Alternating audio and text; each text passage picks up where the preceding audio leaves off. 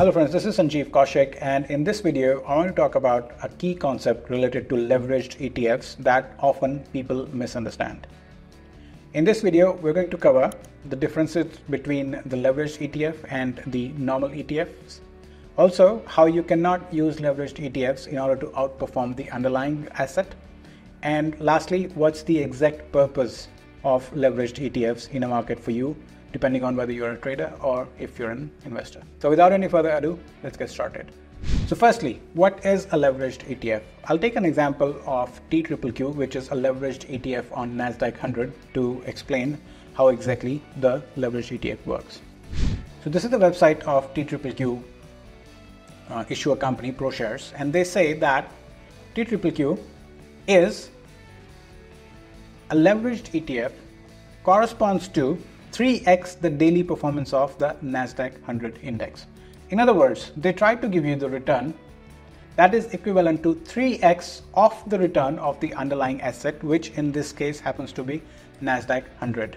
Those of you who know that QQQ is another very popular ETF on NASDAQ 100, right? But that is 1x. That is, that tries to mimic the return of NASDAQ 100 in a ratio of 1 is to 1. So you can also consider TQQQ as a triple leveraged fund that tries to mimic the 3x the return of the QQQ ETF, right? Now, do we only have these ETFs that try to mimic 3x or 2x the returns of the uh, underlying asset or the underlying index? No.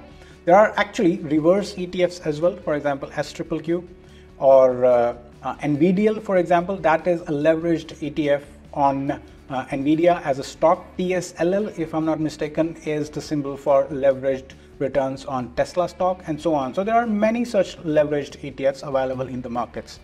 But people often misunderstand how to trade and invest on them. And this is exactly what I'm going to cover here. And we will carry on with the example of TQQQ. Let me ask you one question first and foremost.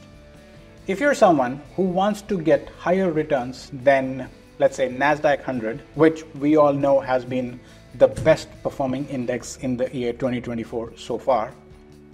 If you want to beat the QQQ ETF or NASDAQ 100, in other words, would it suffice for you to just simply go ahead and buy TQQQ ETF?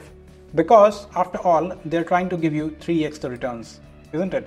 So theoretically, you may say that yes, I do want to invest in TQQQ and then I will get 3x the returns of NASDAQ 100, which by the way would be a fantastic return. Of course, let's say you also understand the, the flip side, which is if QQQ would, let's say, give you minus 10% return in one year, then your return will be theoretically minus 30%.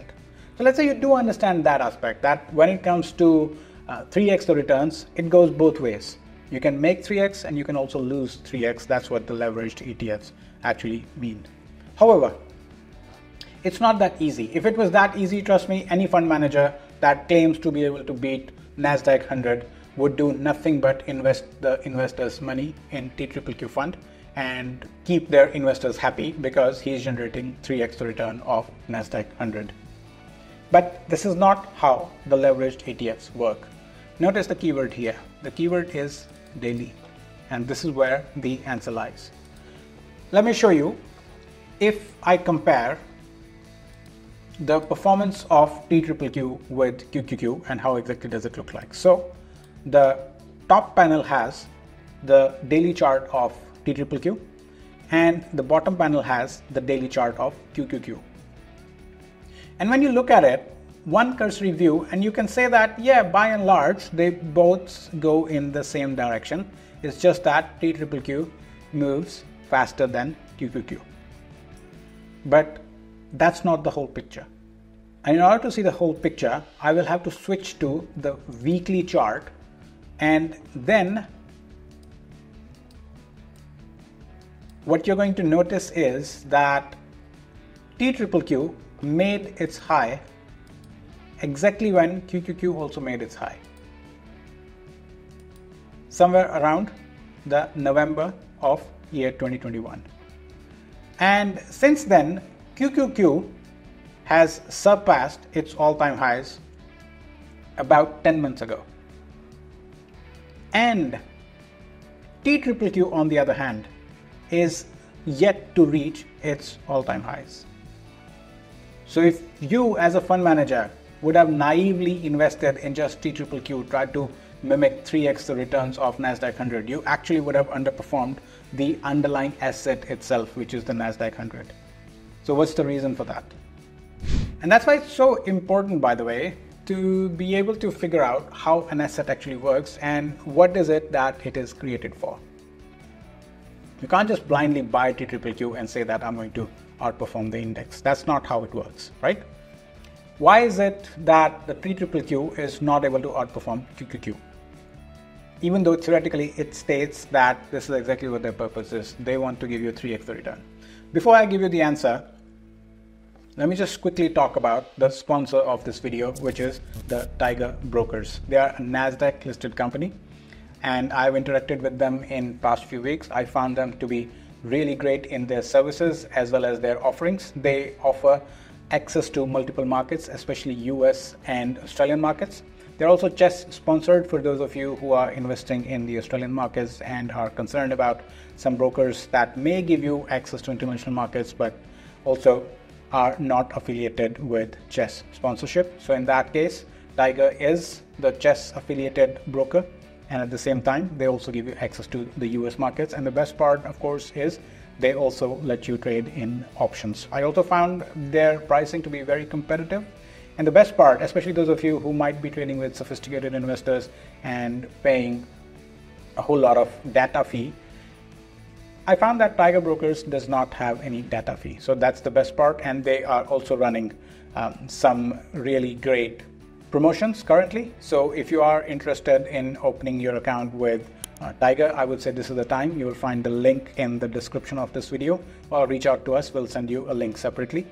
And of course, if you have any questions about the broker, feel free to reach out as well. Okay. All right. So now back to our original topic.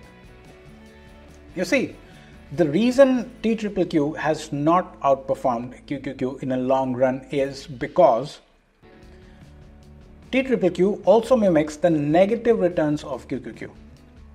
That is, if QQQ falls by 1% on a day, TQQQ will have to fall by 3% by and large. And this is what distorts the returns on TQQQ in a long run. So to give you an example, if let's say QQQ was trading at 100 and it goes up by 2%, QQQ at that time will be trading at 102. And because TQQQ is going to mimic 3x the return, then TQQQ will be trading at 106, assuming that both started with the same level of 100. Okay, so far so good. Theoretically, this is exactly how the TQQQ ETF should be performing. Let's say the next day some bad news occurs and QQQ falls by 10%. 10% fall in QQQ will mean that it will fall roughly to the levels closer to 90. However, TQQQ will close roughly to the levels of 70. Why? Because its returns will be minus 10 into 3x that is minus 30% in that particular day.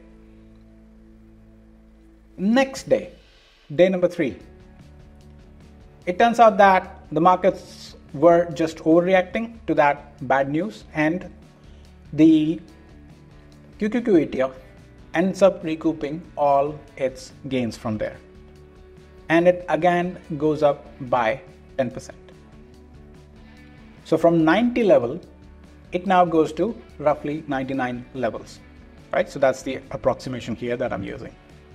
And same way, TQQQ will also give you 30% return. So from 70 levels, TQQQ will not go to 99 level. It will only go to 91 level. So you see the difference right there? TQQQ is still 9% below where it started. However, QQQ is only 1% below where it started. I know that I've used some very extreme numbers here. However, this example is still true. And that's why if you have to judge the performance of one asset versus another, you should always look at the performance in a longer run. Why? Because in a longer run, a 10% move in a week is not a big move, right? Although here my example took 10% move in a single day. But in reality, these kind of big moves are going to distort the returns of any leveraged ETF. And this is going to be true for all the ETFs that are leveraged. Essentially, the key is that they try to mimic the daily performance. They're not saying that they would always give you the returns that are 3x of NASDAQ 100 ETF. That's not what they're claiming here. They're claiming that they will give you 3x the return on a daily basis. And because there are red days as well, that's why the performance gets distorted. Right? Only because there are red days. If there were only green days in NASDAQ 100, which is impossible, of course, considering the nature of the markets, then only this performance in a long run would always remain 3x. Okay, but that's not going to happen.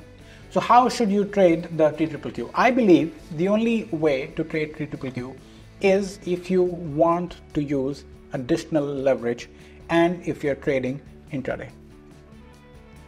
You can also use TQQQ if you want to trade in an asset that is a little more volatile than QQQ but is of lower in value. So this is only 66 however QQQ as we speak is currently hmm. trading around 473. So that's roughly 6 7 times bigger than TQQQ. Right? So if you have smaller capital and if you trade intraday the best way to trade uh, NASDAQ 100 ETF is TQQQ. The options on leveraged ETFs also tend to be really, really liquid. So in that case, you can also consider trading options on TQQQ if your view is not that long in terms of the time frame. Now, how do I like to trade personally on TQQQ? I believe one of the best trades that you can put on on TQQQ is the covered call on TQQQ. You buy TQQQ, one lot as we speak today is only going to be costing you $6,600 and you can sell slightly out of the money calls against TQQQ and you can keep on doing it and generate healthy returns if you know how to trade covered calls. If you don't know how to trade covered calls, I'll highly recommend that you go ahead and watch my video, which is a complete guide on trading covered calls. I can assure you that you're going to learn something new from that video and you will have a completely different viewpoint towards this strategy after watching that video. So this is all that I wanted to cover in this video about trading on leveraged ETFs versus normal ETFs. I hope you found the content of this video useful. Do let me know in comments what your thoughts and feedback are.